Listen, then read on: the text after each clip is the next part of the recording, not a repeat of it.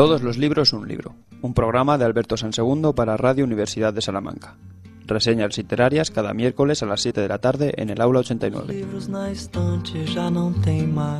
Muy buenas tardes y sean muy bienvenidos a esta edición que es especial de todos los libros su libro y es especial porque hoy es día de fiesta en Salamanca de San Juan de Sagún, pero no obstante sí que tenemos entrega de todos los libros su libro y además con un género que yo creo que tiene más adeptos cada día, no sé por qué será, que es el género, creo, creo, que lo mismo nos estamos anticipando demasiado, pero yo creo que este, este autor que nos presenta hoy, Alberto Sansegundo, es eh, autor sobre todo de novela negra. Alberto, buenas tardes. ¿Qué tal? Buenas tardes. Bueno, uh, si, hay que escribirlo a un género concreto, eh, el género es el western, aunque los libros que traigo hoy no, están, no son solo western, ahora hablaremos exactamente, pero sí, si yo tuviera que decir eh, el ámbito mm, temático y también en cuanto a contexto, al entorno, al espacio en el que se mueve en general eh, bastantes de las novelas o por las que es más conocido Cormac McCarthy, que es el autor eh, del que vamos a hablar hoy, eh, sí, el género sería el género del oeste fundamentalmente. Y ya que he citado el nombre, pues cito también el, menciono ya de entrada el porqué, ¿no? Que no eh, es la mañana... primera vez, por cierto, Alberto, que hablas de Cormac McCarthy, ¿no? En este espacio. Efectivamente, no es la primera vez porque es que es un escritor que me gusta mucho y además no será la última porque ya anticipo que el curso que viene también va a haber alguna, alguna emisión dedicada a él. Ahora, ahora ubico eh, la estructura de, de, mi planteamiento con respecto a, al, autor y sus libros. Decía que, que hay un, una efeméride, hoy es el día, hoy es 12 de, de, junio, mañana día 13 se cumple un año de la muerte de, de, este escritor, del escritor estadounidense Cormac McCarthy. Moría en Nuevo México. Eh, uno de los, sin duda, nombres mayores de la literatura norteamericana de su país y si exageramos un poco, y yo creo que no tanto, pues del mundo entero. A mí me gusta mucho, uh, como te comentaba, a pesar, y, recalco esto, ¿eh? a pesar de la extraordinaria violencia que inunda, y el verbo no es casual, eh, inunda su literatura. Mares de sangre, podríamos decir. Eh, un, un, un, mundo, un contexto este que no me interesa demasiado, pero que sin embargo bueno, es revelador para quien nos esté siguiendo, que pese a que yo declare de antemano que este, este, esta, estas referencias eh, o esta plasmación de la violencia en la literatura no es algo que me guste mucho, sin embargo, acto seguido califique a Cormac McCarthy de un escritor magistral que además me entusiasma. ¿no? Alberto, eh... perdóname que te interrumpa porque tú lo sabes todo. Eh, ¿Quién es el director de cine que también eh, era hacía películas muy violentas, creo que Perros de Paja quizás fuera de ese. Eh, actuaba Steve McQueen en varias de sus obras y era, eh, se, se, se, caracterizaba ese cine por ser muy violento, muy buen cine, pero con muchísima violencia. No sé si recuerdas ahora. Eh, eh, las, las, películas, o sea, un, un, a mí a quien me viene a la cabeza cuando hablamos de... Sam Peckinpah. Peckinpah. Claro, vamos a ver, cuando me viene a la cabeza eh, cine violento reciente o que habla de violencia es Tarantino, evidentemente. Eh, cuando hablamos de más clásicos y sobre todo si tenemos la referencia del oeste, eh, Peckinpah efectivamente y, con muchas películas del oeste y además otras que también que no lo son pero que también son violentas un gran director y que a mí también durante mucho tiempo de juventud me entusiasmó citas perros de paja eh, que en este momento no puedo recordar si está dirigida por él yo diría que no pero en cualquier caso sí que voy a comentar, que a lo mejor sí, ¿eh? pero no, yo diría que no, pero en, en, cualquier caso lo que sí quiero comentar es que Perros de Paja a mí me, me, cuando yo tenía 15 años o 16 años, fue una película que me impresionó precisamente por lo... Por lo la, crudo, violencia, por, por, la violencia, por la violencia. Por lo crudo, ¿no? Una película que no se podía resistir realmente. ¿no? Y esta idea de crudeza, de violencia, de algo que no se puede resistir, que no se sí, puede sí, aguantar. Sí, sí, sí, es de Pekín. Es de Pekín. Ajá. Bueno, en cualquier caso, sí, los parámetros de, de, de violencia sí que están muy dura, muy cruda, muy, muy desabrida, muy muy, incómoda, muy insoportable estrictamente. Eh, eh, yo lo recuerdo en, en, esos términos. Y además, bueno, está bien traído porque, porque permite la conexión con uno de los libros que hoy quiero, que hoy quiero comentar, que también uh, uh, bueno, puede caracterizarse de, con estos adjetivos que acabo de, de, comentar. Entonces, bueno, vamos por partes. Entonces, uh, como se cumple el año, eh, pensé, eh, ya desde el momento en el que murió, ¿no? pensé hacer algunos programas dedicados a, a, su obra. Lo que ocurre es que ya se sabe, quienes nos siguen saben que yo soy lento, que no puedo, no puedo así de un día para otro improvisar eh, un programa monográfico o dos o tres sobre un determinado autor. Entonces se van cociendo con tranquilidad y en este caso pues ha tardado un año en aparecer eh, la primera emisión dedicada, eh, tras su muerte, dedicada a Cormac McCarthy. Hoy traigo algunos libros. Pero quiero anticipar que a lo largo, que, a lo largo del año que viene, del curso que viene, quiero dedicar algún libro, a, perdón, algún programa a libros eh, de este género, del western. Y con tres novelas en particular, de una trilogía, de Cormac McCarthy, de las que ahora no voy a hablar, eh, muy conocidas, con traslación al cine. Muchas de las novelas de McCarthy, de sea cual sea su género, han sido objeto de, traslación al cine. Eh, Todos los hermosos caballos, En la frontera y Ciudades de la llanura, es la trilogía, que se llama así, Trilogía de la Frontera, eh, y, voy a hablar de ella a lo largo del curso que viene, junto a otros libros de otros autores yo creo que inspirados directa o indirectamente en la obra de McCarthy y que también se centra en ese género. Sin embargo, hoy voy a centrarme fundamentalmente en lo que, a mi juicio, es la obra mayor de la novelística de McCarthy, que es un, libro espléndido, una obra maestra, eh, que se llama Meridianos de Sangre. Lo que ocurre, y enlazo también con algo que has comentado hace un momentito, es que yo ya había traído a Cormac McCarthy aquí hace, hace eh, pues exactamente en octubre de 2015. En octubre de 2015 presenté dos libros eh, en el mismo programa, eh, No es país para viejos y La carretera, ambos también con una traducción cinematográfica además muy notable. Entonces, eh, además del recordatorio de ese programa de 2015, se ha publicado muy recientemente otra obra con La carretera, esa novela como referencia, muy recientemente, es cuestión de hace un par de meses como mucho, que me permite, bueno, recuperar también, antes de entrar en meridiano de sangre, eh, recuperar algún comentario que me parece interesante de presentación a nuestros oyentes sobre precisamente esa novela, eh, La carretera. Eh, se presentó, como digo, en todos los libros un libro en 2015, pero en otro formato que no tenía esta versión de YouTube y por lo tanto creo que puede resultar, primero por la oportunidad, ahora diré cuáles las razones de oportunidad exactamente, pero también porque, bueno, quienes nos siguen por esta vía no conocen mi entusiasta eh, recomendación de, esa novela y por tanto quiero aprovechar para, para, traer, para traerla. Entonces, de manera presento de entrada eh, La carretera, Cormac McCarthy, eh, en Mondadori. Bueno, ahora contaré exactamente toda la trayectoria editorial del libro. Y la reciente es esta monumental, en todos los sentidos, versión en cómic, La carretera, una adaptación de la novela de Cormac McCarthy, aparece en su subtítulo, eh, por el dibujante francés Manu Larcenet. Yo no soy, no ya un experto, es que ni siquiera un especial interesado en el mundo del cómic y por tanto desconozco a este eh, eh, dibujante que al parecer tiene una, una, trayectoria ya prestigiosa en este ámbito. El libro, como se ve, es un formato inmenso. Ahora comentaré muy grande, muy grande, muy poco manejable, pero a la vez muy atractivo y es una ilustración gráfica muy, muy, muy, muy interesante, como comentaré dentro de un ratito, de la novela. Entonces, eh, bueno, el poco texto que tiene el, cómic está traducido por Eva, Eva, Reyes de Uña y el sello que lo publica, como digo, hace nada, escasas semanas, es el sello Norma. La carretera novela es genial. Eh, fue premio Pulitzer en 2006. Eh, en España apareció un año después, en 2007, en Mondadori, una editorial que hoy ya pertenece a Penguin Random House, y con traducción del no exclusivo, pero casi exclusivo traductor de Cormac McCarthy en nuestro país, que es Luis Murillo Fort, un, traductor de, también consolidada trayectoria profesional y de extraordinario prestigio. Me pararé un ratito también, dentro de un momentito, para hablar de la, para hablar de la traducción, porque hay muchas, muchas cuestiones muy interesantes.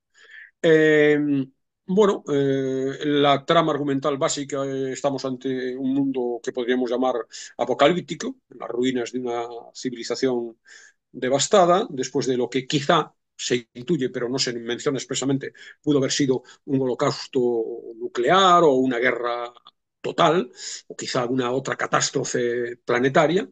Insisto que en el, libro no se nos dan pistas exactas de qué fue lo que ocurrió, se nos, se nos planta, se planta el lector en ese escenario, pero sin dar explicaciones previas. Pues un padre y un hijo uh, deambulan por ese territorio desolado, devastado, sin apenas rastro de vida, en busca de una salvación eh, que parece bueno, pues imposible de imaginar en ese contexto. Van con un carrito de, supermercado en el que van haciendo acopio de, algunas latas de comida, de restos de alimento que encuentran entre los edificios derruidos, algunas mantas viejas para, para protegerse, prendas de ropa recogidas de aquí y de allá algunas herramientas muy rudimentarias que les sirven para la intendencia en el día a día, y bueno, caminan en un paraje, como digo, desolador, uh, caminan hacia el sur, um, atravesando un espacio quemado, calcinado realmente vacío, de lo que quizá pudo haber sido en algún día Estados Unidos, con la esperanza de hallar en ese, en ese periplo uh, vestigios de alguna comunidad de hombres buenos que, que, bueno, que mantengan viva la memoria de una, de una sociedad bueno, libre y feliz. Una sociedad eh, previa a ese holocausto que, atis, que, que, que aparece en algunos atisbos, se vislumbra en el texto, bueno, uh, episodios de la infancia, a modo de recuerdos, ríos transparentes, todo está contaminado en la actualidad, ríos transparentes eh, en las que truchas de cuerpos musculosos agitan las aletas en musgo fresco, es decir, recordatorio de un mundo en ese momento, en el presente de la novela inexistente, ciertos días felices en la playa, fogonazos, la sombra fugaz, huidiza, muy evanescente de una, de una mujer, una esposa y madre, eh, muerta, la intuición de un, amor olvidado. Entonces, bueno, caminan, sin más, en un paisaje mortecino, gris, entre árboles totalmente carbonizados, absoluta ausencia de vida. Eh, bueno, un cierto recuerdo, como decía, las truchas de especies, de especies animales que están totalmente borradas de la faz de la Tierra.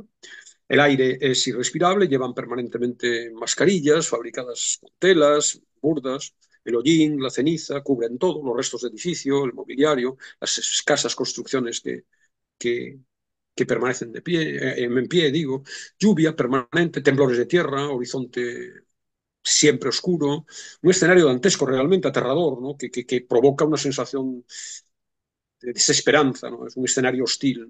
Y por allí eh, avanzan padre e hijo con miedo, porque constantemente aparecen bandas de, saqueadores que, que, aparecen entre las sombras, amenazantes, también cubiertos de harapos, eh, demacrados, mutilados, dispuestos a cualquier cosa para conseguir un alimento que obviamente es muy valioso en aquella ausencia generalizada de vida.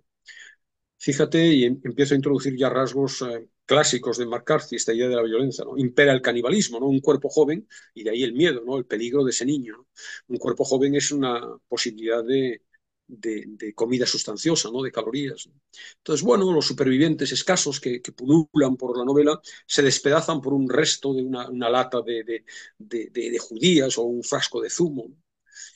Y bueno, eh, esta es la novela, ¿no? Que pese a tanta desolación, pese a un panorama de muerte que se respira por doquier, ¿no? Pese a, pese a, que prácticamente cada página rezuma dolor, do, eh, sin sentido, brutalidad, barbarie, sin embargo, transmite, o a mí al menos me ha transmitido, un, como un impulso vitalista. ¿no?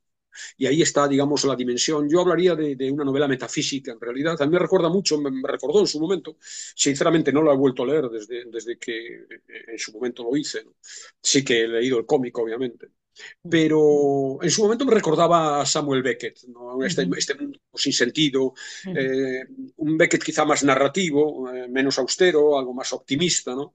Y en ese sentido metafísica, porque bueno, hay una reflexión acerca del sentido de la existencia, la búsqueda de sentido. Esas, esos personajes caminan por un mundo devastado en busca de algo que, que, que otorgue sentido a su, a su existencia. ¿no? Entonces, bueno, eh, de Beckett tiene también la idea del absurdo, de, de, del silencio, de, de, la espera. Una novela, a mi juicio, formidable, que, que, que, que habla, pues eso, del lugar que ocupa el ser humano en, en un mundo absurdo, uh, también del valor de la paternidad, la relación padre-hijo es muy, muy, notable, tiene un peso sustancial. ¿no?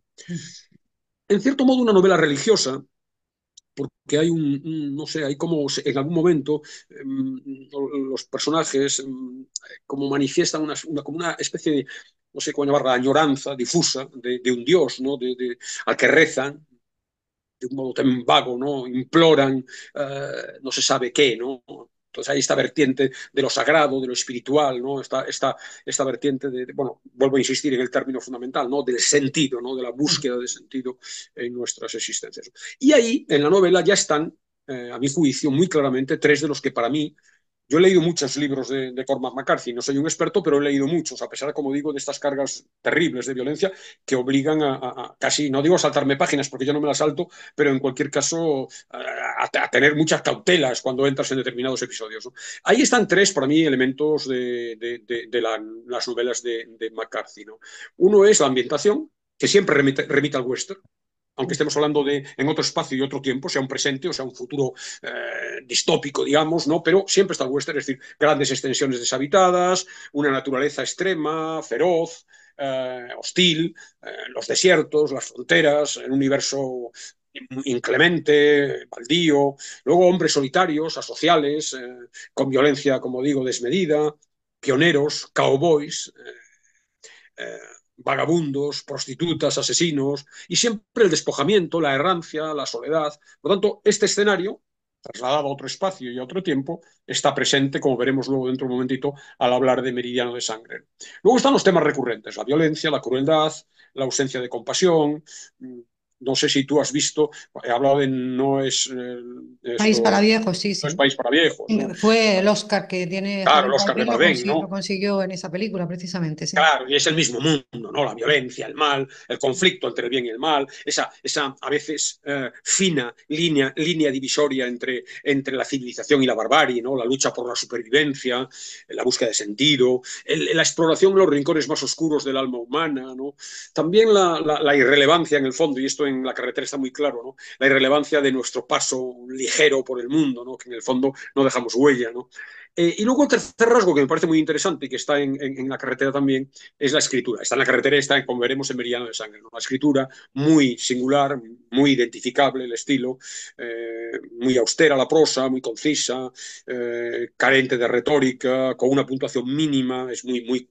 Ahora hablaremos de ello con más detalle a propósito de Meridiano de Sangre, pero es muy. Se, se subraya siempre la ausencia de comas, muy notoria la ausencia de comas en, en las obras de, de, de McCarthy. ¿no? Diálogos, cuando los hay, eh, cortantes, lacónicos, frases muy breves, muy directas. Luego la, precisión en las descripciones, eh, los detalles en los paisajes, en los objetos, uh, y luego un lenguaje muy amplio, un léxico muy amplio, pero un lenguaje en cierto modo, y será muy notorio en Meridiano de Sangre, acariciante, ¿no? Eh, construcciones sintácticas muy sencillas, sin desvíos, sin, sin, digresiones, sin apenas subordinadas, diríamos sota, caballo y rey. Entonces, bueno, esas tres características, ambientación, temas universales y austeridad estilística, están también en la película, porque hay película también de la carretera. De la carretera. Claro, de John Hillcoat, el director, estrenada en 2009, que es una, que por cierto, no, yo no la había visto en su momento, sí que la he visto hace dos o tres meses, eh, una bastante fiel traslación de, del espíritu del libro a, a la pantalla. ¿no? Eh, yo he leído críticas que, que bueno, dicen que, que, que, no, que hay, en la película hay una inversión en el tratamiento que se hace el texto, en el texto de los dos principales frentes emocionales, ¿no? La descripción del horror y de la violencia, y por otro lado la, la, la, la relación más tierna, más sensible del padre y el hijo. Yo no estoy de acuerdo. A mí me parece que, que efectivamente en la novela prevalece el espanto, el pánico y hasta el miedo, pero en la, en la película están también esas dos, y además de manera muy equilibrada, ¿no? Está por un lado lo crudo y anticipo, eh, aviso para navegantes, eh, la, la, película tiene escenas muy descarnadas de, y nunca mejor dicho, de cadáveres abandonados, de individuos desnudos, mutilados, fantasmagóricos, encerrados un poco gore, encerrados en, en, en, en, sótanos siniestros, en sótanos siniestros porque son utilizados esos cuerpos, esos seres humanos vivos, mutilados ya, en algunos casos, como reservas, de, reservas alimenticias para la gente que sobrevive malamente en aquel contexto. ¿no? Entonces tenemos imágenes duras, ¿eh? con rastros de sangre, con vísceras, etcétera, con, con, con unos seres casi con rostros macilentos y cuerpos demacrados, hasta el punto, y aquí sí, claramente, eh, en mi caso por lo menos, mi experiencia es que he tenido que abandonar la, la separar la mirada de, de, la pantalla porque no puedo resistir, no he podido resistir alguna de estas imágenes duras. Pero por otro lado, es también muy bonita y también confieso plan absolutamente personal y subjetivo, que es, eh, he sido incapaz de contener las lágrimas en algunos momentos de, una eh, sensibilidad eh, extraordinaria, todo lo que tiene que ver con el trato del niño con su padre, los cuidados, la protección, la ternura, la atención. la ayuda, la vigilancia del adulto, caminan ambos ya, pero en, en, efecto son los dos los que están eh, participando de un proyecto común, pero en realidad la preocupación fundamental del padre es que ese chico pueda recibir enseñanzas, eh, pueda recibir también ayuda material para él mismo cuando el propio padre fal, falte, eh, que en ese escenario dantesco es probable en cualquier momento y no quiero destripar nada, eh, que pueda valerse por sí mismo. Entonces, toda esta idea de, del afecto, de, de la bondad, de, en una metáfora que aparece en la novela, ¿no? mantener vivo el fuego noble que está, que arde en el alma del chico. Todo esto es, está muy bien tratado en la película, de manera equilibrada, truculento, pero a la vez también lo sensible. A mí me parece una película muy, muy eh, interesante, eh, a la que contribuyen, eh, pues obviamente, una interpretación magistral de Viggo Mortensen uh -huh. en el papel padre, Luego un estupendo, y me imagino que su actuación ha debido ser muy difícil. Para mí un niño es desconocido, Cody Smith McPhee, que hace, tiene 10 años y, y, realmente el papel es muy complicado y lo hace de manera muy convincente. Y luego hay apariciones menores, eh, pues por ejemplo Charlize Theron, eh, que es la esposa de, de, del personaje principal, esposa y madre del niño, que aparecen los recuerdos fugaces, más presentes en la película, sin ser de, determinantes, pero más presentes en la película, con más peso en la película que en la novela. Eh, bueno, muy guapa, como siempre, y muy convincente también en esos, en esos flashbacks. Muy buena actriz, muy buena actriz. Sí, sí. Sí, sí. Y luego Robert Duvall también, que tiene una presencia muy, muy como una especie de vagabundo que se encuentran por el, por el camino, bueno, que aunque está en pantalla tres minutos, demuestra lo excepcional actor que es. Guy Pearce, que, que, bueno, tiene una aparición en escasas también al final, de una decena de planos. Pero bueno, y sobre todo, en la película lo que llama la atención extraordinariamente es un español, Javier Aguirre Sarobe, que es el director de fotografía. Es una fotografía. Uh -huh. La película merece la pena exclusivamente desde el punto de vista formal, ya, aunque solo sea por eso, ¿no? Una fotografía espléndida, inolvidable, ¿no? Reflejando con una belleza estética un escenario gris, ceniciento, opresivo, no surcado. Sé si es en blanco y negro la película, Alberto. No es no, en blanco y negro, ¿no? Pero hay, hay, este juego de, de, de, de bueno, de, de grisura, independientemente de que se surca de repente esa, esas escenas, incendios, terremotos, explosiones, eh, la luz del sol eh, ha, desaparecido y por tanto el tono es muy, muy, muy, muy, gris. ¿no? Estamos los paisajes, árboles eh, secos eh, y a la vez escenas urbanas, ¿no? con coches desventrados, con calles repletas de escombros, edificios derruidos, naves desiertas, centros comerciales arrasados, ¿no? las torres de luz desplomadas, los cables eléctricos colgando por todas partes, etc. De manera que ya solamente en esa dimensión puramente fotográfica la película es, es excelente. ¿no? Eh, y luego también es muy interesante la música, que luego cuando hablemos de la, recomendación musical de hoy va a estar evidentemente extraída de la banda sonora. La banda sonora hace un músico que a mí me gusta mucho, Nick Cave, músico australiano, un músico genial. Eh, y por cierto, quiero decir que, que, desde este lunes pasado, desde hace un par de días, y también los dos próximos lunes, hasta acabar, eh, hasta acabar el mes de junio, las tres últimas emisiones de Buscando Leones en las Nubes, mi otro espacio aquí, van a estar dedicadas, están siendo dedicadas, porque ya hemos empezado el lunes, a Nick Cave, ¿no? músico australiano. Eh, de tal manera que, bueno, no, no sé, no, yo, yo recomiendo a, los oyentes que vean eh, la película, al margen de leer la novela, y de paso también que veamos programas de Buscando Leones en las nubes. Pero bueno, eh, y quiero cerrar la triple. Y que se escuchen también los programas de todos los libros, un libro, porque, porque sí, porque también están muy bien estos programas. Entonces cierro la triple recomendación de la carretera con, eh, con el cómic. El cómic es, es, espléndido, como digo. Aquí sí que la paleta mm, de colores es muy reducida. Está bien en color, pero fundamentalmente se juega con un gris solo excepcionalmente y de manera muy leve coloreado, con algunos atisbos, pues por ejemplo, para, ahí no sé si se percibe de un cierto tono uh -huh. claro, pero sí. para, para, para, reforzar la idea de dramatismo en algunos casos, eh, prescindiendo casi totalmente del texto, podríamos decir que la, el cómic ilustra el silencio, solamente hay diálogos muy, muy, muy breves, son onomatopeyas a veces, de una sola letra, resoplidos, una H, o con dos letras, HR, o con tres letras, MHR, dice algún persona, dice, eh, para expresar con, con, esas, con esas estados de ánimo, y con fidelidad también transcribe a la perfección la, atmósfera de, de, desolación, de oscuridad, de desesperanza, de brutalidad también, porque hay escenas eh, representadas muy crudamente, y es capaz el cómic de trasladar al lector simultáneamente sobrecogido por un lado y emocionado por otro, es decir, aterrado y conmovido, la experiencia salvaje, esa odisea de dimensión mítica del padre y el hijo, eh, enfrentados a, ese, fin del mundo pavoroso y violento, pero a la vez la otra dimensión, la otra vertiente de ternura, de, sensibilidad, de, emoción del trato entre el padre y el hijo. Y esto a modo de preámbulo, ya, se, ya me conocen quienes me conocen. Preámbulo, pero bueno, la, la, novela, digamos, más famosa ¿no? y, quizás, y más premiada es esta, ¿no? La carretera. Por esta recibió sí. el Pulitzer. Sí, porque ha tenido las dos, ¿no? A ser más recientes, La carretera y el No es país para viejo, al tener esa, esa repercusión cinematográfica que siempre llega más, quizá, que la literatura, ¿no?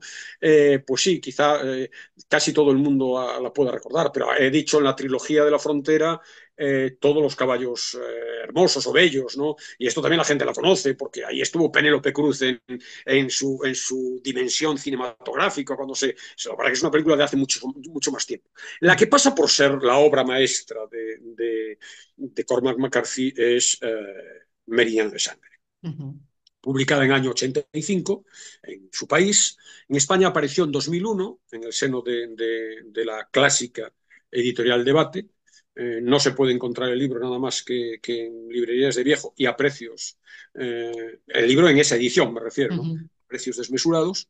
Eh, la editorial Debate hoy ya forma parte del grupo Penguin Random House. Sabes que Planeta y Penguin Random House se reparten prácticamente, más allá de algunas editoriales independientes que sobreviven ¿no? y que incluso se atreven a nacer, digamos, ¿no?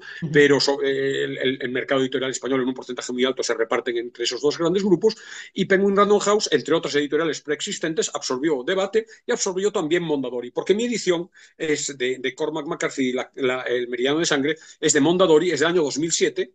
Eh, Mondadori también, como digo, está en Penguin Random House y la traducción es también de, como decía, eh, Luis Murillo Ford.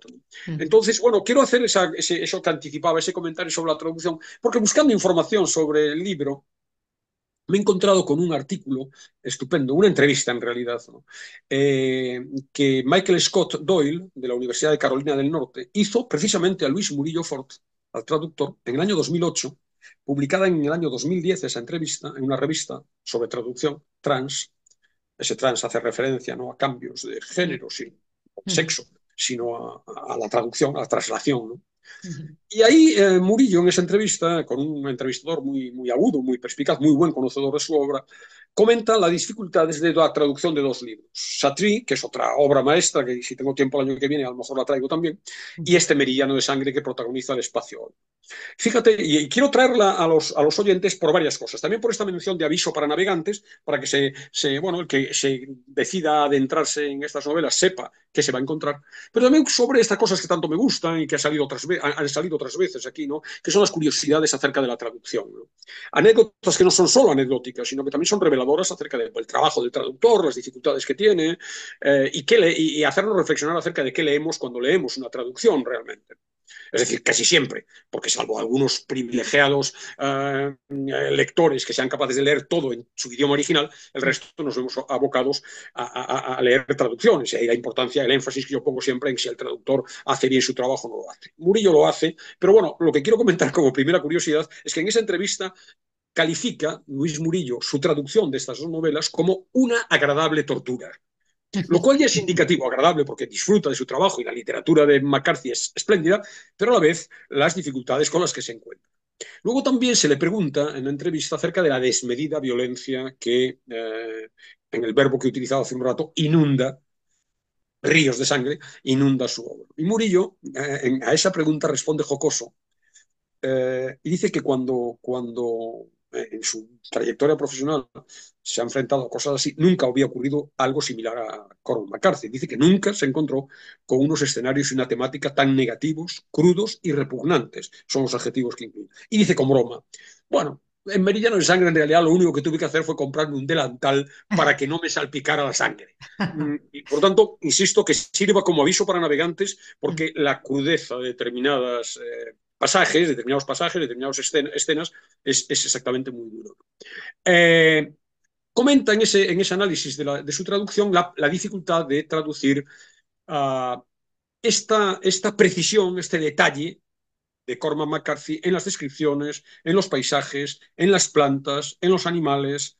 Eh, voy a leer un, pequeño párrafo para que, ya traducido obviamente, para que el posible lector se haga una idea de qué es lo que se va a encontrar pequeños búhos que se agazapaban en silencio y cambiaban el peso de pata, y también tarántulas y solpugas y vinagrones, y las crueles migales y lagartos de collar con la boca negra del chou chou, mortales para el hombre, y pequeños basiliscos del desierto que evacúan sangre por los ojos, y pequeñas víboras de las arenas parecidas a deidades agradables, silenciosas e iguales en Yedad como en Babilonia. Descripción de los animales, como ves, con una, terminología, un léxico muy particular. Ahora hablaremos del léxico. Pero esa minuciosidad también está en los detalles, en los objetos, en las armas. Es una novela del oeste, ahora hablaremos. Y por tanto hay armas, muchas armas. Eh, comenta Murillo lo difícil que es traducir eh, ese tipo de detalles. McCarthy, al parecer, eh, era un hombre muy meticuloso en los asuntos técnicos. Y por tanto, eh, Murillo, cuando tiene que describir todos los detalles con los que describe cada uno de, las, de, los aspectos de un Colt, de un rifle, claro, se vuelve loco, ¿no? Entonces nos cuenta en esa entrevista muy ilustra, ilustrativa, ¿no? Cómo consulta con un, con un experto de una revista de armas en España y a partir de ahí, cada vez que sale un arma en alguno de los libros que tiene que traducir, le llama para que le dé su opinión fundada.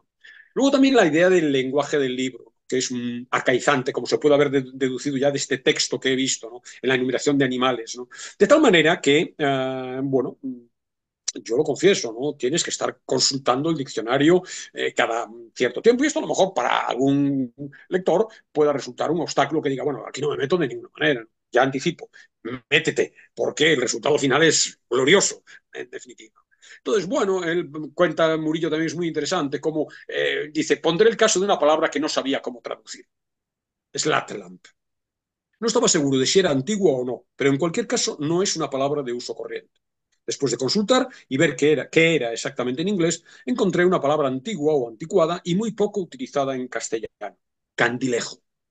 Candilejo es una especie de candil, es decir, un tipo de lámpara, y tiene que ver también con las candilejas, que son las luces que hay en los teatros. Entonces pensé, y habla Murillo, slatlamp para un angloparlante medio no es una palabra muy corriente. Por lo tanto, yo tengo que utilizar otra palabra que tampoco sea corriente en castellano o en español. Entonces encontré esta, que yo no utilizo. Como muchas personas en inglés no utilizarían normalmente slatlamp. Me pareció que era una buena solución. Cuando el lector de la traducción en español encuentre esa palabra, pueden pasar varias cosas. Una, que sea lector curioso y diga, candilejo, ¿qué será esto? Y que la busque en el diccionario. Otra posibilidad es que adivine cuál es el significado por el contexto de la frase, entiende que puede ser, aunque no sepa exactamente en qué consiste un candilejo, o en su caso un slatlamp, pero por el contexto adivina qué tipo de lámpara eh, es y no le importa saber más. Y luego habrá otro tipo de lector que no conocerá la palabra y que le importará tres pitos seguir siendo ignorante con respecto a ella, avanzando en el Bueno, eso ya es prueba de la complejidad que supone una traducción, en la que a veces no caemos, ¿no? Cada palabra, y sobre todo cuando el, léxico eh, originario del autor que estás traduciendo es muy amplio, muy rico, muy arcaizante, todavía más difícil. Pero cualquier palabra, ¿qué palabra utilizas? ¿Cuáles son las resonancias que la traducción al castellano tiene esa palabra en un lector contemporáneo? ¿Nos valen esas resonancias o tenemos que irnos a las resonancias que tendría la palabra en el siglo XIX si el origen, la novela, la historia se desenvuelve como es el caso de Meridiano de Sangre en el siglo XIX? Un último ejemplo a propósito de la traducción y entro en el libro. Eh, ya en la entrada, en las citas iniciales del libro, en una de las citas iniciales, se utiliza un término, escalpar. Escalpar. Que no, escalpar, empezando en E, escalpar, que no está recogido en el diccionario de la Real Academia. Eh, el verbo es una castellanización. Parece una faena del campo, ¿no? No, no, no. Fíjate, es una castellanización que hace el traductor del verbo to scalp. Scalp, literalmente, en inglés, es arrancar la cabellera. Y entonces, eh, estamos hablando de un mundo de conflicto, la frontera, las guerras, eh, eh, los colonos, México, Estados Unidos, Texas, los indígenas, y, y se arrancan cabelleras, en un libro violento, crudo y descarnado, se arrancan cabelleras por doquier. Entonces, em, claro, fundamental. Opción del traductor, escalpar, crear el verbo crear el, inventar el verbo escalpar. simplemente como indicio. Obviamente, uno llega a escalpar y lo primero que hace es, eh, o se ha pasado la vida eh, arrancando cabelleras, o en caso contrario, debe buscarlo en algún sitio. Entonces lo vas a buscar al diccionario y no lo encuentras. Entonces empiezas a indagar. ¿no? Bueno, muy interesante, como ves, para mi juicio por lo menos, todo ese tipo de reflexiones a las que se abre solamente el lenguaje. Quiero también comentar la decía para cerrar, cierro ahora la traducción, la ausencia de comas que adelantaba hace un rato. Entonces, dice Murillo, McCarthy escribe prácticamente sin comas va acumulando frases separadas, y esto lo notas, ¿eh? no hace falta que te lo diga Murillo, tú estás leyendo y te das cuenta, entre otras razones, por algo que sí que dice Murillo, es que en un momento determinado conviene respirar, y claro, no te deja. Entonces, eh, dice, va acumulando... conviene. Eh, ¿Perdona? Que digo que conviene, conviene Conviene, no es conveniente, sobre todo en un libro que tiene cerca de 500 páginas, ¿no? Entonces, bueno, no puedes permitirte el lujo de No leerlo de un tirón. Entonces dice, va acumulando, habla de McCarthy, frases separadas por un and. Hizo esto, and hizo esto otro, and hizo lo otro. Y dice Murillo, yo siempre he procurado respetar ese ritmo un poco hipnótico que es tan característico de este autor. Lo que ocurre es que, como en español las frases son más largas, cuando uno lee mentalmente una parrafada de McCarthy, en versión española, necesita inventarse de vez en cuando una coma, porque si no, se asfixia, se queda sin, se queda sin aire. Y tampoco, dice con, con humor Murillo, tampoco se trata de ir matando lectores, claro, porque hay pocos. Así que yo no, intenté dulcificar el texto a base de ponerle comas, sino que quise mantener esa manera de puntuar para mí tan rara de McCarthy. Y de vez en cuando, solo muy de vez en cuando, introducía una coma si como lector me parecía que era necesario añadir algo para tomar un respiro. Bueno, interesante, ¿no? Interesante de nuevo este juego eh, traductore, se decía en italiano, ¿no? Traductore, traditore, tra traductor, traidor. Claro, se ha inventado las comas. Esto no está en McCarthy. ¿Qué quiere decir traducir? Eh, bueno, es muy interesante estas reflexiones, saldrán más veces porque a mí libros que hablan sobre la traducción me interesan y por tanto traeré aquí alguna vez más, ya he traído alguno, ¿no? La impostora de Nuria Barrios hace unos meses, hace unos años, que hablaba precisamente de manera monográfica sobre la labor de traducción. Bueno, hechas estas, eh, eh, digamos, estos preliminares, entramos en Meridiano de Sangre, una novela... En el, en el, argumento de Meridiano de Sangre. Sí, una obra, una obra realmente inclasificable, argumentalmente también. Está a caballo del western, tiene, es un western, evidentemente, pero también hay punto de relato histórico, hay también esto metafísico, esta reflexión no explícita, pero sí... Eh, digamos, subterránea acerca del sentido de la vida, la naturaleza humana, etc. Un crítico, yo he leído en algún lado, uh, nos habla de la novela como una novela en la que todo parece suceder, pero en realidad no pasa nada. Un grupo de hombres cabalga un tiempo, acampa un tiempo, filosofa un tiempo, mata un tiempo. Mata un tiempo no que mata el tiempo, sino que mata, asesina durante un tiempo. Entonces, bueno, ahí está un resumen perfecto. No pasa nada, en realidad. Ahora, uh, si tuviéramos que reconducirlo a una línea argumental más o menos convencional, tenemos un chico, un chico sin nombre, eh, de Kid, en el original, eh, Murillo lo traduce como el chaval, en todo momento. Eh, lo conocemos con apenas 14 años, eh, estamos en 1833, bueno, estamos no, nace en 1833, lo conocemos 14 años después, en Tennessee, la madre muere en el parto, el padre leñador no tiene peso en su vida, tiene una hermana perdida en alguna parte a la que tampoco conocemos. A esa edad, a esos 14 años, abandona su casa y se entrega a una existencia errática, tortuosa, llena de vicisitudes eh, violentas. Viaja de un lado a otro, se curte en innumerables peleas, acumula cicatrices, llega a estar al borde de la muerte, encadena diferentes ocupaciones, deambula de un lado a otro de, del país, sobre todo llega a estar en un momento determinado en Acotgoches, que es un, llegó a ser eh, capital de una república efímera, Fridonia, el primer intento de separación de México por parte de colonos anglosajones de, de, Texas, y situada, sobre todo, que es donde se mueve en esa región, eh, que es el centro del conflicto, que es el momento entre México y Estados Unidos. A partir siempre, de ahí... Son obras siempre fronterizas. Estaba pensando también en unos países para viejos, también era la frontera, claro, ¿no? Lo que aparecía, claro. siempre la frontera, ¿no? Claro, y fíjate que en la carretera, no siendo ese escenario y no siendo ese tiempo, o sea, el escenario es innominado, no sabemos, Estados Unidos, pero tiene este juego también de, de, de, de límites, ¿no? y bueno, y cuando las novelas son abiertamente fronterizas, insisto, la trilogía de la que hablaré aquí el año que viene es la trilogía de la frontera. Es que es un lugar muy interesante, ¿no? Muy interesante por la época histórica, por la llegada de los colonos, por todo lo que supone la devastación de la cultura y de las vidas de los indios, eh, por todo este juego también fronterizo, digamos, desde el punto de vista teórico, entre lo salvaje y la civilización. Hemos hablado aquí de 50.000 veces de esto, ¿no? Liberty Balance, eh, en el fondo también era este asunto, ¿no? Bueno, uh, entonces, bueno, uh, un lugar de confluencia entre, entre americanos europeos blancos, uh, mexicanos ya independizados de España y sobre todo los pobladores indios originarios. El chico forma parte, llega a formar parte de las tropas irregulares de, de, para el exterminio de los, de los indios que se crearon en la época, eh, sobrevive a una matanza terrible que se nos cuenta con todo lujo de detalles, perpetrada por los comanches, lo arrestan, lo arrestan en Chihuahua por su condición de forajido y logrará huir alistándose en un grupo de existencia histórica comprobada, siniestro grupo de Glanton, un personaje de, de existencia real, que fue jefe de una fuerza paramilitar contratada por los líderes regionales mexicanos para proteger a los ciudadanos de los apaches. Eh, para esa, incentivar. Esa, esa, seguridad privada también se está dando en algunos, en algunos lugares, eh, pero en, en, la parte ya de Estados Unidos sí que tienen esa seguridad privada, ¿no? Existe esa figura también. Claro, lo que ocurre es que estamos hablando de hace 100, 100 años y, uh -huh. y, ahí la violencia campaba a sus anchas. ¿no? Entonces, claro, por ejemplo, para, para captar, eh, digamos, eh, miembros de esas bandas paramilitares, eh, las, las, recompensas eran, por ejemplo, 100 dólares por cada cabellera que arrancara. Uh -huh. Entonces, eh, claro, eh, ahí ya, ya, tenemos dibujado el panorama. Bueno, eh, con este siniestro Glanton se, se, encamina a una sucesión de expediciones criminales que encadenan, bueno, pues de todo.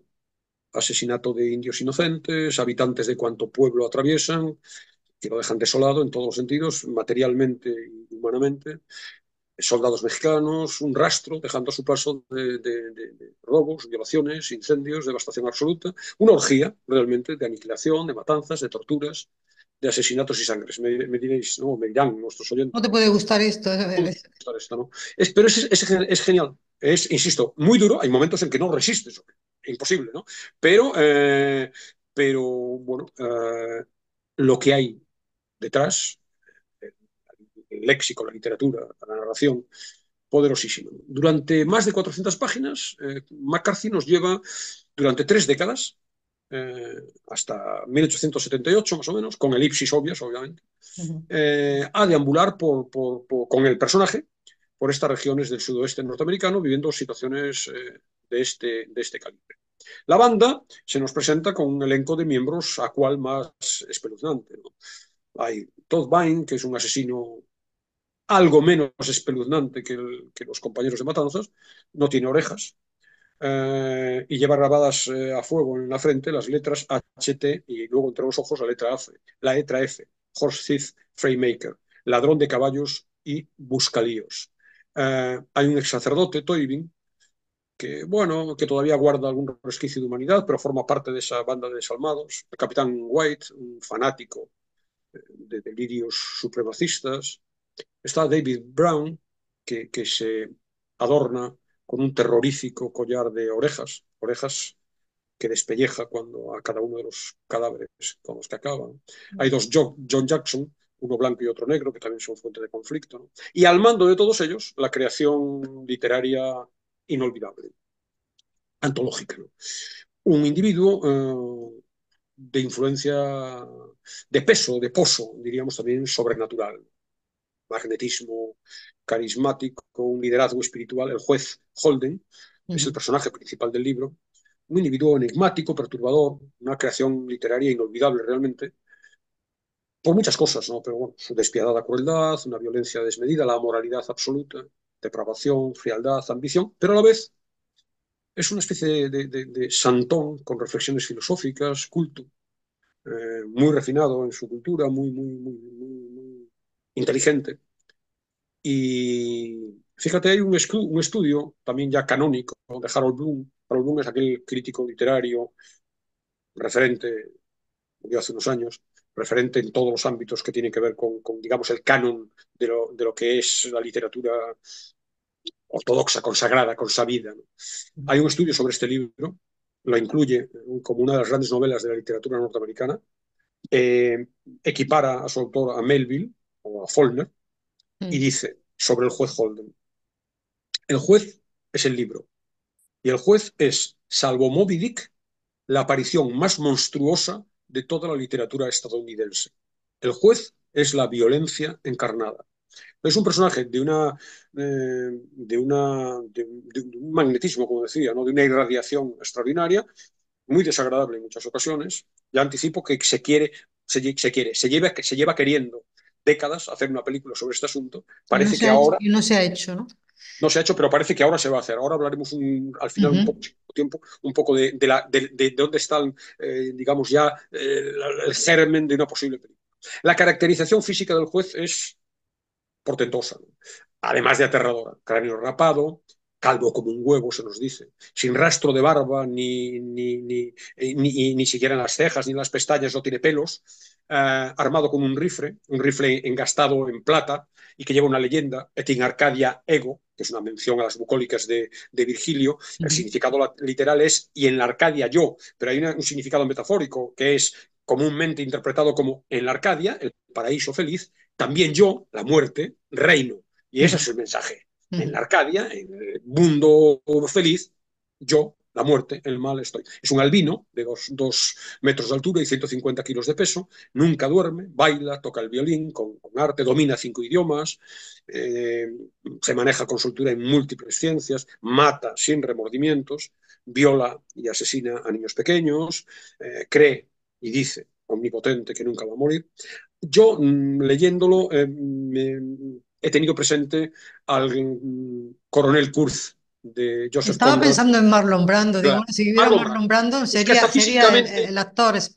Claro, esta cosa de gigantesca, ¿no? De, de- de Mm. corpulento y, y además, en cierto modo, como de una especie como de ídolo primitivo, ¿no? Sí, es inevitable. eh, incluso Orson Welles está presente. Estaba pensando Digamos- también en otro actor que murió no hace demasiado tiempo, este que estaba, es que no me no recuerdo el nombre, antes de cinco minutos antes de que el diablo sepa que has muerto, eh, no sé Ah, si sí. el, el No rubito, recuerdo es- el personaje. pero es Sí, sí. también sería, eh, estaba pensando también en él. Sí, a mí me lo ha recordado en todo momento, ¿no? Bueno, es un personaje que, que, que es shakespeariano también, en cierto sentido, ¿no? Porque, porque encarna ciertos, no sé si llamarlo valores, ¿no? Pero ciertas, ciertas ideas, ¿no? Eh, temas eh, clásicos, ¿no? La ambición desmedida, la traición, la violencia, el poder, la inmoralidad, la tragedia. Eh, bueno, a la base del desarrollo argumental de la novela es el relato crudo de la interminable sucesión de tropelías que comete esta, esta jauría salvaje. Sin embargo, fíjate, eh, el tratamiento literario de la violencia eh, no, está, no aparece edulcorada, no aparece justificada, eh, no aparece explicada, simplemente se muestra brutalidad despiadada. Convertida en arte, terrorífico pero a la vez deslumbrante. Entonces, masacres constantes, linchamientos feroces, evisceraciones, arrancamientos de cueros cabelludos, heridas sangrientas, mutilaciones, pero no hay una glorificación, como podría parecerse, ¿no? de la violencia, pero tampoco hay una justificación. Simplemente hay una voluntad de plasmarla con toda su aspereza, con toda su complejidad, sin, sin como digo, sin, sin disimularla, ¿no?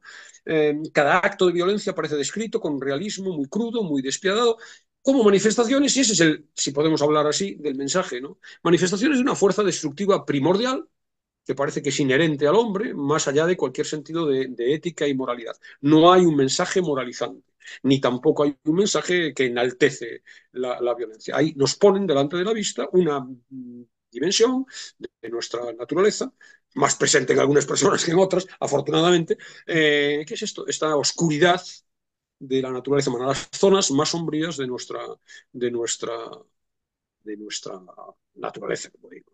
Eh, este, Harold Bloom dice, no es solo el western definitivo, el libro es la dramatización oscura definitiva de la violencia. Nuevamente, no veo a nadie superándolo en ese sentido. Eh, ese es el problema que yo creo que han tenido los diferentes aspirantes a trasladar esto al cine porque no es país para viejos, es extraordinariamente violenta. Bueno, Bardem, embargo, Bardem lo bordaba también, ¿no? Claro, no, no hemos dicho sí. Bardem, pero quizás Bardem, ¿no? Lo bordaba. Sí, es Bardem, claro, ese personaje oscuro, ese personaje... Violento, totalmente, pero frío, pero frío. Muy frío, claro, sí, sí, sí. Bueno, entonces aquí tenemos eh, trayectoria Ridley Scott, Clint Eastwood, uh, Tommy Lee Jones, James Franco, Terrence Malick, nombres importantes en la dirección cinematográfica, intentaron, desde que se publicó el libro en el 85, intentaron llevarlo a la pantalla. Sin embargo, sin éxito. Sin éxito, habiendo abandonado por motivos que no desconozco, eh, no sé si por esta razón de lo complicado que es plasmar tanta, tanta, tanta, tanta desmesura, tanta, eh, tantos episodios cruentos. Pero parece que en 2025 va a salir por fin la adaptación cinematográfica. Y el director va a ser el mismo que el de La Carretera, John Hillcoat, al parecer. en una producción eh, que va a llevar a cabo un hijo de, de McCarthy, Francis.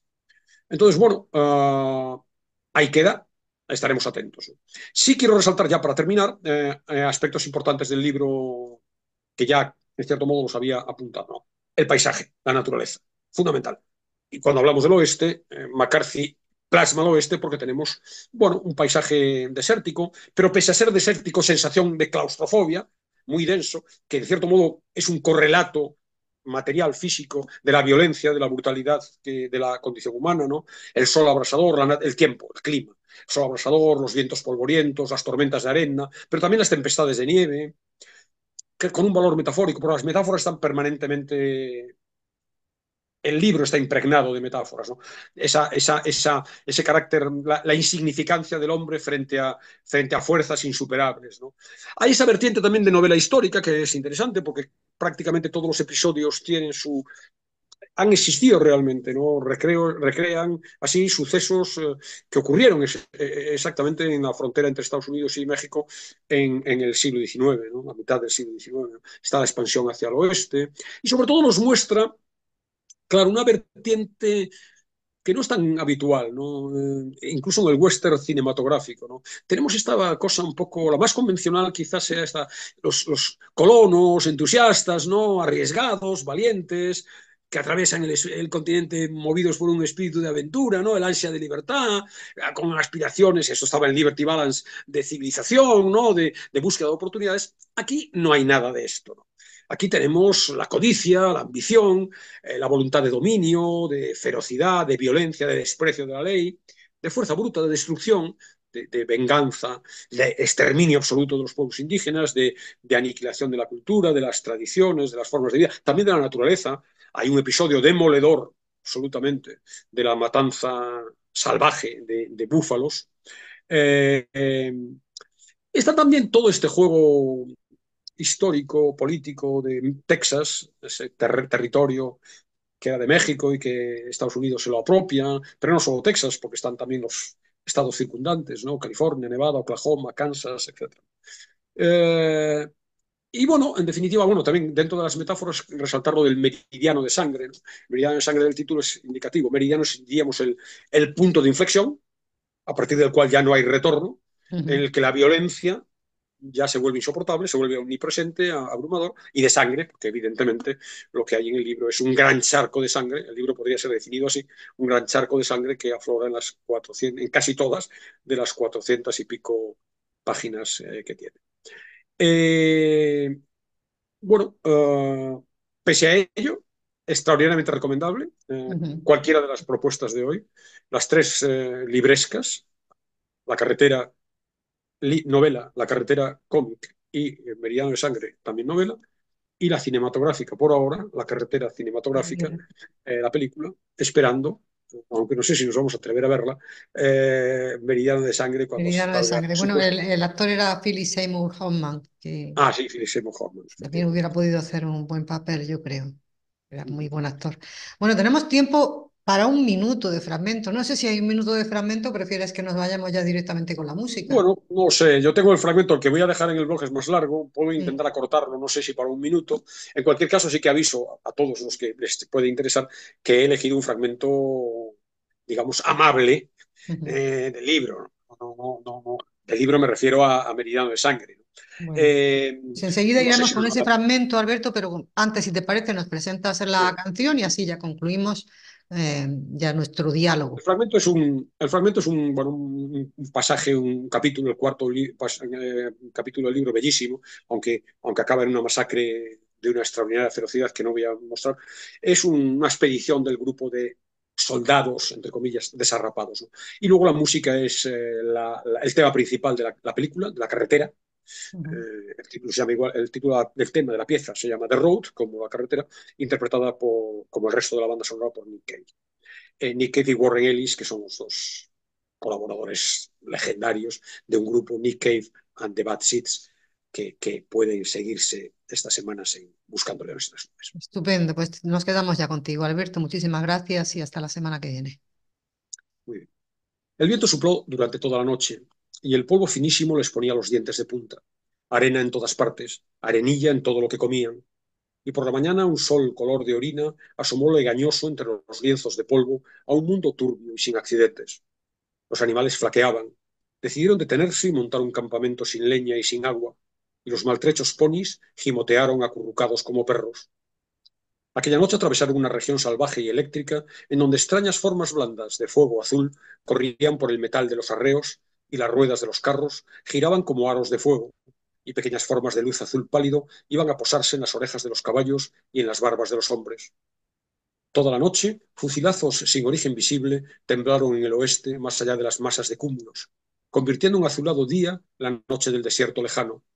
Las montañas en el repentino horizonte, negras y vívidas y ceñudas como un paisaje de un orden distinto cuya verdadera geología no era la piedra, sino el miedo.